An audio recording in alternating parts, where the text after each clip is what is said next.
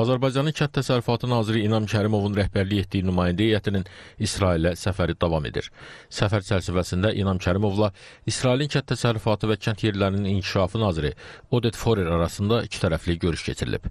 Görüş zamanı aqrar tədqiqatlar sahəsində əməkdaşlığın genişləndirilməsi, kadr hazırlığı, aqrar təhsil sahəsində əməkdaşlıq, universitetlər arasında tələbə və müəllim mübadiləsi, ticarət dövriyyəsinin artırılması məsələləri müzakirə olunub.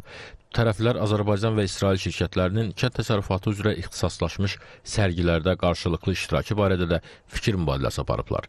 Bildirilib ki, İsrail şirkətləri Kaspian Agro beynəlxalq kənd təsərrüfatı sərgisində iştirakda maraqlıdır və gələn ildən bu sərgidə daha geniş tərkibdə iştirak edəcəklər.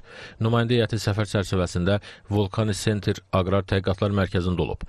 Mərkəzdə keçirilən görüş zamanı iki ölkənin aqrar tədqiqatlar sahəsində əməkdaşlıq perspektivləri müzakirə edilib, aqrar məlumatlar bazası bazasının formalaşdırılması ətrafında fikir mübadiləsi aparılıb. Heyət üzvləri həmçinin İsrailin müasir suvarma sistemlərinin istehsalı üzrə ixtisaslaşmış Nitafim şirkətinin müasir heyvandarlıq kompleksinin, toxumçuluq müəssisəsinin, südçülük kompleksinin fəaliyyəti ilə tanış olub, yerli şirkətlərin nümayəndələri ilə fikir mübadiləsi aparıblar.